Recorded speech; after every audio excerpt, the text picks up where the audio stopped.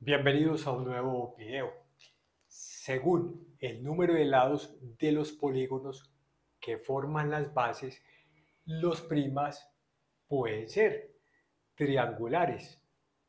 Eh, cuando la base es un triángulo, ¿sí?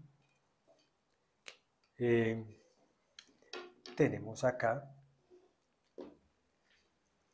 cuadrangulares. Cuando la base es un cuadrado, pentagonales cuando la base es un pentágono y sucesivamente.